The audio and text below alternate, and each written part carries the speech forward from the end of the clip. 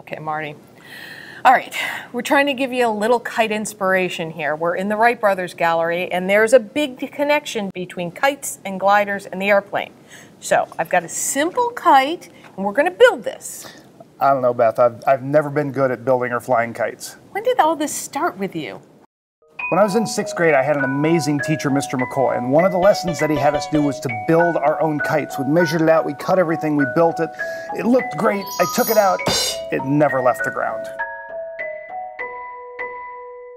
You know, I think what you need is a little more inspiration. That might help. Whether indoor, outdoor, whether three or 103, I truly believe freedom of expression. And I have a saying, Charlie Brown has nothing on me. I have two left feet, but it's okay. We're flying kites. It doesn't always stay in the sky, so it's really nice to have that uh, ability to crash once in a while and just smile about it. Okay, as you see, even a really talented flyer like Scott has his off days. You know, you're right. I've got the original lesson plan that I had when I was in sixth grade. I'm going to build this thing and it is going to fly. Okay, well, let's start with the easier kite to begin with because we only have about 30 minutes. It's a good idea. This, This is, is stem stem in in 30. 30. Now, you see, that was your tail. That's one of your problems. You're losing your pieces.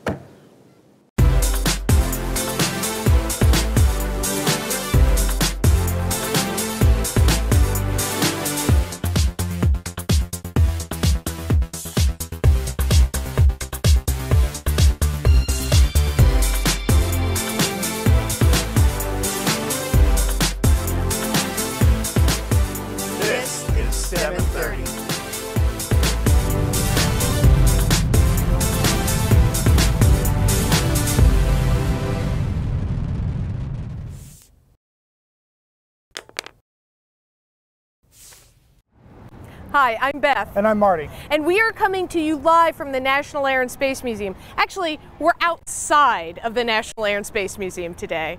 We're on the National Mall, and when you hear the word mall, you might be thinking about like coffee shops or chain stores or food courts, but you'll find none of that here. We have monuments and museums in the United States Capitol. Now, the term mall used to be used just to talk about a park, a place where people could hang out and socialize.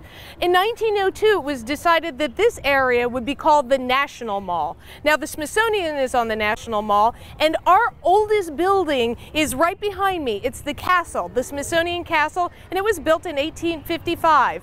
Behind there, you see the Washington Monument. There are 879 steps to get to the top of it. Now, that's a long walk, but they also have a very nice elevator. Now, today's show is live, as you can see by all the people walking behind us and all of the natural sounds that you hear of Washington, D.C. But we want you to submit questions right now about kites. The whole show today is dedicated to those. You submit those questions. We have an expert standing by ready to answer those, and some of them we might even use on the show today. We're also going to welcome our in-house audience, the Eliot-Hine Middle School. And uh, Marty, uh, the show's about kites, and we know that you've had some problems with kites in the past. Fortunately for you, we have two expert kite flyers. We are joined by Paula Masters and Dave Ashworth, and they'll be flying, and hopefully they'll be able to help you out at some point. I hope so. Let's take a look at what Dave and Paul are doing. So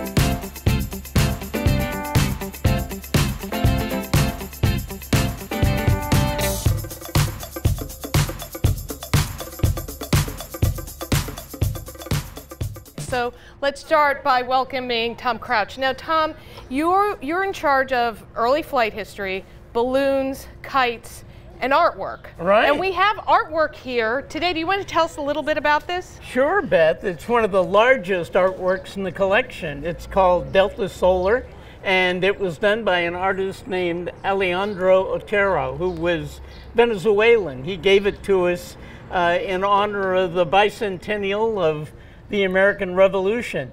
And I just love it, and other people do too. And a few years ago, we got a letter from a lady who used to take the bus from up on Capitol Hill right around the corner every day. And she wrote a letter to us telling us how much it meant to go by Delta Solar every day. One night, she says, I went by at sunset, a very red sunset. It was pure gold with the movable parts turning slowly and looking like golden cloth. Another time, it was a bright day with a 40 mile an hour wind, and the wings, that's what I always think of them as, were whirling in the wildest of dances. I was born in the year the Wright brothers took their first flight at Kitty Hawk.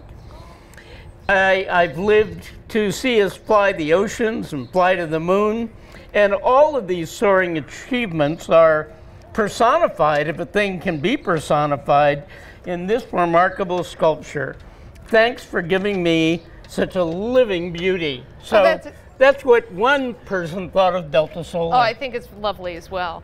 Now, the museum has a long history with kites, and in fact, uh, we used to be involved in the uh, Kite Festival. Do you want to tell us how that got started? Sure. Uh, if you'd been here on the Mall Gang in 1967, it was illegal to fly kites. Uh, the police would come and haul you away. And Paul Garber, who was the founder of our museum, the National Air and Space Museum, was a lifelong kite builder. He just loved kites. And so he decided that it wasn't fair, that you should be able to fly kites on the mall. So in 1967, Paul organized the first Smithsonian Kite Festival. And this year, was the 50th anniversary. The Smithsonian doesn't do it anymore. The National Cherry Blossom Festival sponsors the Kite Festival these days, but it's been going for 50 years and it's it's a real Washington tradition. And it's still very popular too. It is. They get lots and lots of people down there flying kites.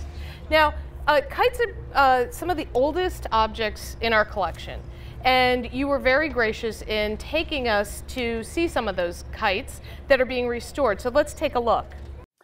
We're here in the Conservation Laboratory at the Smithsonian's National Air and Space Museum Stephen F. Udvar-Hazy Center, and I'm with Amanda Malcolm, who's one of our paper conservators. And we have in front of us one of the oldest flying objects in the Smithsonian collection. It's a Chinese kite built around the city of Canton, as it was in the 19th century, and sent to the Philadelphia exhibition, uh, the Centennial Exhibition in uh, 1876, as an example of Chinese culture. So it's very important as one of our oldest flying objects in the collection, but also very frail. So, Amanda, what do you do uh, to conserve, preserve an object like this? Um, so, as you said, these kites are not in great condition. Um, the paper itself is a Chinese, traditional Chinese paper, and it's been wrapped onto a bamboo frame. And the bamboo has been bent, and there are multiple pieces that have been bent and tied together with um, actually a twisted paper and then adhered in place. Wow. Yes. The paper of all of the kites is very brittle. The bamboo is broken and missing on some of the kites. Um, so our main goal, because, because these kites are so important to the collection, we want to stabilize the materials to make sure that they last for a long time. The first step in stabilization is really to understand what your materials are, know that we're working with bamboo, we're working with a Chinese paper, which is generally a short fibered paper. Um, we're also, we have these really beautiful pigments that very likely have faded, are flaking. There's some white here that you can see is missing, that's from flaking pigment. So although the kites are in really poor condition, um, conservator's job is to make them last for a really long time. So stabilizing the materials and putting them in proper housing in proper environmental conditions. I want people in the future to see these prize cultural examples of, of kites. Okay, Tom, uh, do you want to take some questions? Sure. How about we start with an online question? What is the oldest known kite? Well, the word kite, Beth, uh, first appears in Chinese in the 5th century BCE, before our era, a long, long time ago. And since the word is Chinese, that'll we figure there had to be an object to go with the word. Okay, great. So uh, we think that kites came from China then. We a do. long time ago. Yep. We have an uh, audience question. Who has my first question? Come on up. Come on up.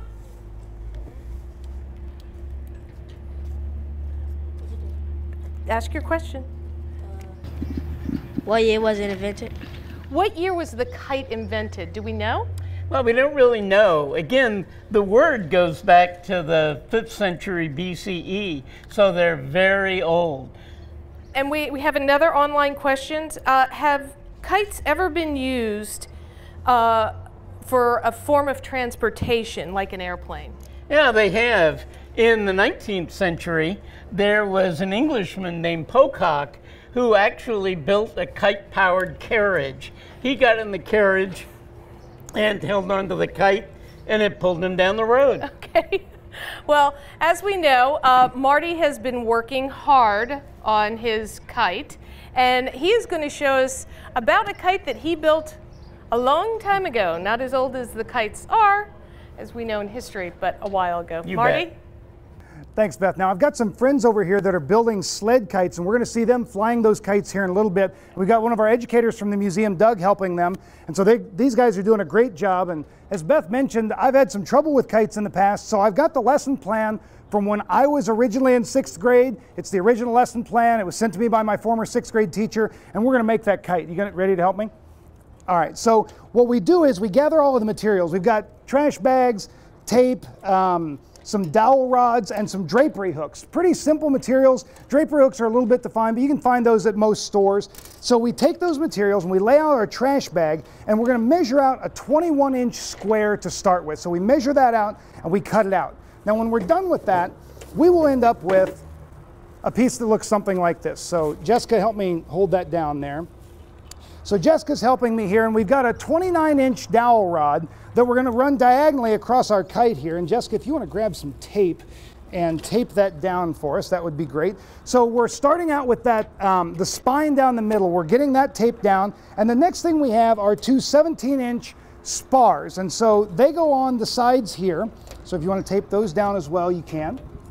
And what we do there is we, we lay those down. Those are basically the wings of the kite. And then we measure 11 inches from the top of the kite down along those spars, and we cut a real small hole. We also reinforce that hole with some tape. You can see I've got some tape here already. So we're gonna reinforce that hole, and then we create our spreader bar. And this bar is basically two drapery hooks taped to the end of it.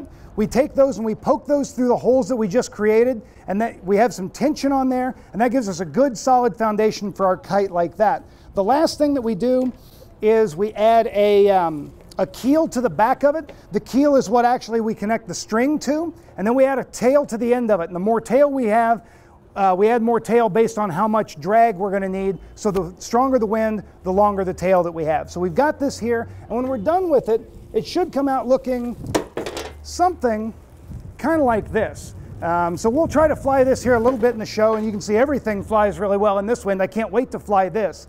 Now, the National Air and Space Museum has a Kite Family Day where you can come out with your family, build kites, learn all about kites. It's a really great day. My kids love coming out to it. Um, while they were here last year, we talked to a couple of the participants who were actually flying kites inside. Check this out.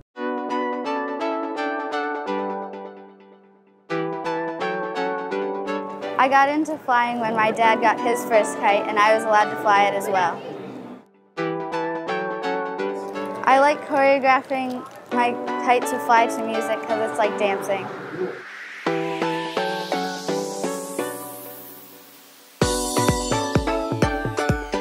I got into kite flying. I went on a fishing vacation. We were in North Carolina and I saw a Wright Brothers replica hang glider. I walked into the kite store to sign up for a flight and there was a flat screen with all these kites, with these revolution kites. And there's four or five guys standing shoulder to shoulder doing all these intricate maneuvers. And I went, no, forget hang gliding. I want to do that.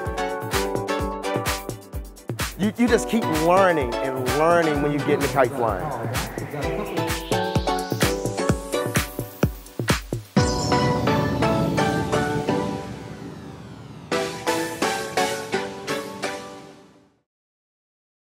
Okay, Tom, so we saw Thomas Fletcher, who's talking a little bit about uh, being in North Carolina and wanting to take a Wright glider uh, Right. flight.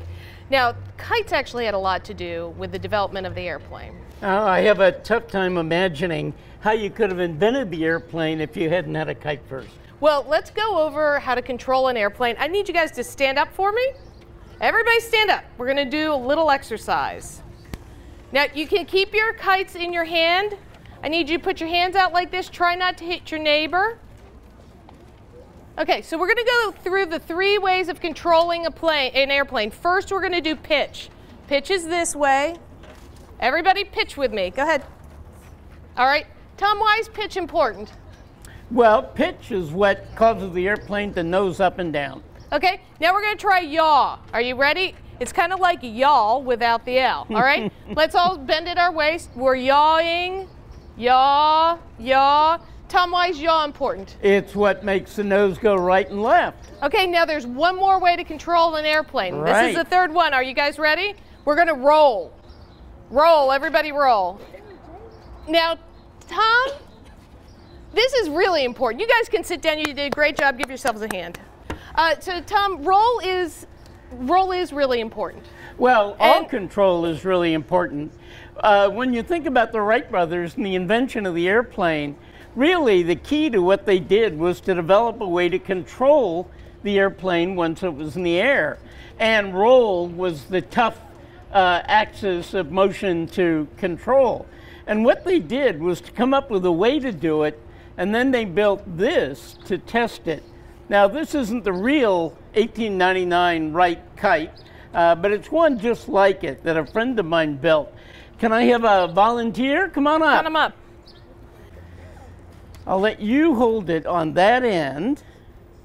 Now, what you do, yeah, you hold it so it doesn't blow away. There are two sticks right here, and you fly the kite like this, just the way these guys are flying their controllable kite out there. And when you do your thumbs like this, then you move the top wing back and the bottom wing forward, and you pitch up. When you move your thumbs the other way, you move the top wing forward and the bottom wing back, and you pitch down. But when you oppose your thumbs like this, when you work the sticks like this, what you do, all right, now hold the top, and we're going to do this.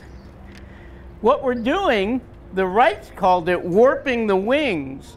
We're increasing the angle of attack on one side by working the strings, and that increases the lift on that side, decreases it on the other side. That means you can balance the kite, and that is the way they learn to balance an airplane. Okay, great. Now this kite uh, is is an experimental kite. It's not very fancy. Um, It's not what? it's not very fancy. No, it's not. It, it's pretty simple kite made of simple materials. Yep. But there are other kites, like the kites that uh, Dave and Paul are flying, that are really colorful and wonderful. And we had a really great experience. We went to uh, master kite maker John Burkhart, uh, his studio, and we took a look at some of his really neat kites. Let's go there.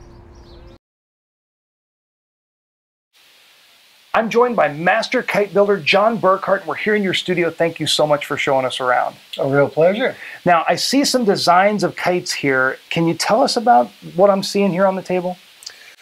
I decided to try to do something really different. And, and this is not a design I've seen anybody else do.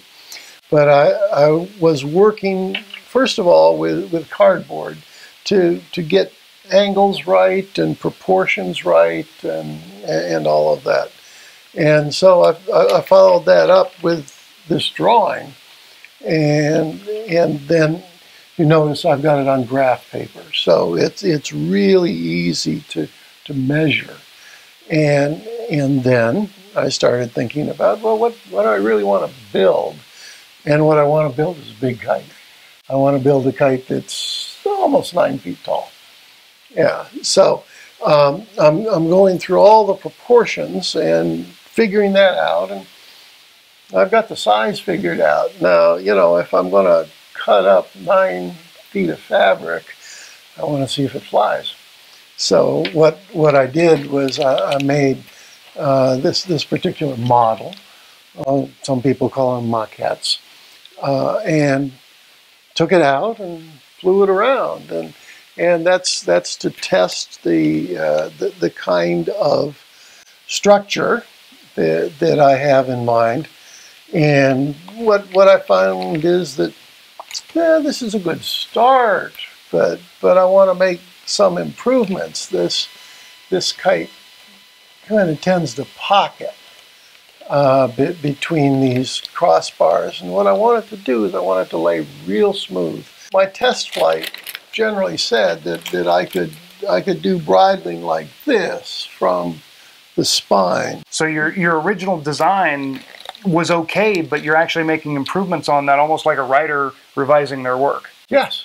That's yes. really interesting. Right. Now, this Yeah. isn't the only scale model that you've got. You've got another one back over here, right? That's right, we do. This this is a kite. Uh, the graphics are designed by my wife Karen, and this is called "We Become Birds."